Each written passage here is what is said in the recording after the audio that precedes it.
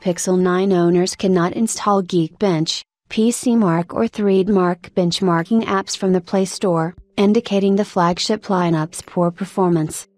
Google is in the midst of releasing the Pixel 9 models to various markets, and during the embargo period, the company has sent out review units to various media outlets, content creators, journalists, and others to provide their impartial thoughts on the latest flagship series.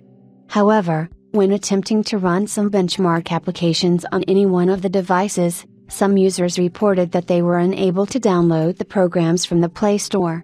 This obstacle hints Google might be blocking access to these apps to prevent any flood of information on the internet that downplays the Tensor G4's capabilities.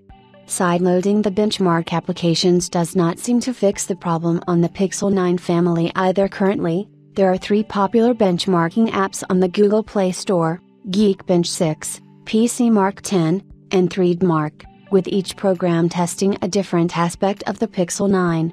While we have seen through various leaks that the Tensor G4 is significantly slower than the Snapdragon 8 Gen 3, Dimensity 9300 Plus, and the A17 Pro, Google is adamant about not letting that information pour through.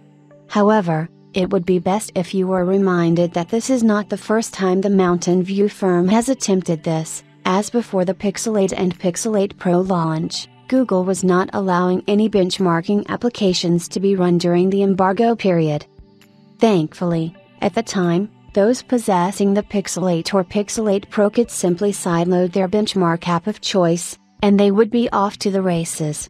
Now, Google has blocked this alternative route too with at carded eyes showing evidence on X that even sideloading Geekbench I introduced a compatibility error. While others seem to be experiencing the same issue, we have noticed a wave of performance statistics and comparisons written by leading publications, so the issue may be an isolated incident. Additionally, it makes little sense for Google to block benchmarking applications from being downloaded, as a company executive had previously admitted that the Tensor G4 was not designed to break any performance records but to improve the user experience and help tackle specific cases.